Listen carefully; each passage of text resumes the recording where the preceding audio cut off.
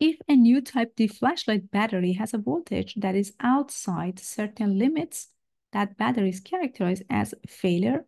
And if the battery has a voltage within the prescribed limits, it's assumed to be a success.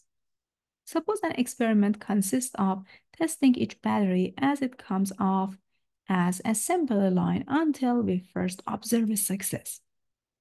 Although it may not be very likely, a possible outcome of the experiment is that the first 10 or 100 or 1,000 are failures.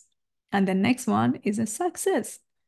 That is for any positive integer n, we may have to examine n batteries before seeing the first success. The first, the sample space can be written this way. The first observation is success. The first observation is failure. Then you have a success. The first two observations are failure. Then you have a success. The first three observations are failure. Then you have a success and so on, which contains an infinite number of possible outcomes. The simple events are just success, failure, then success, two failures in a row, then success, three failures in a row, then success, and so on.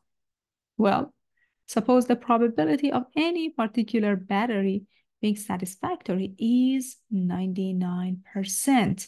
Then it can be shown that the probability of first event is 99%, the probability of second event is 1% times 99%.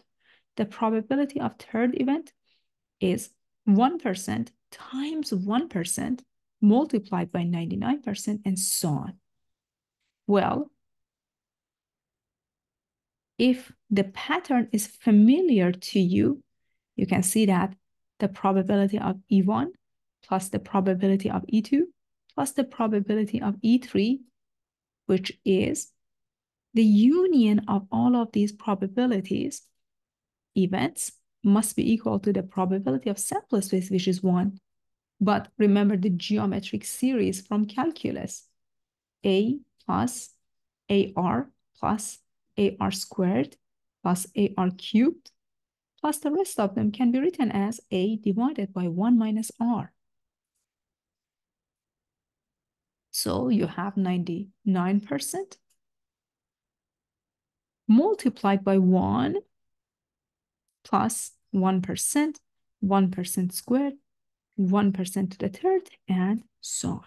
So you can basically write this as 99% times 1 divided by 1 minus 1.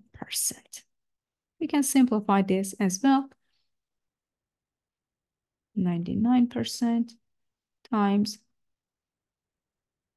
you have 1% divided by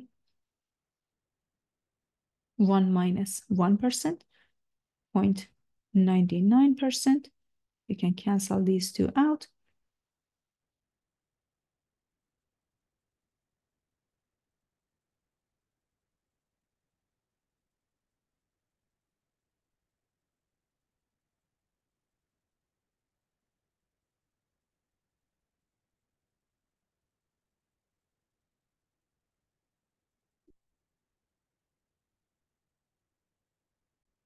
It doesn't have any percent on top, so let me fix this for you.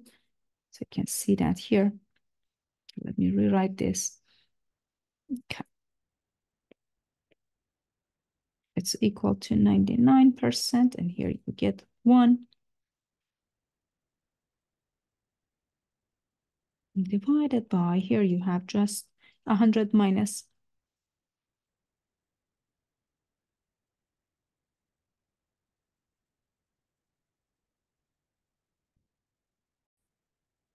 1 minus 1.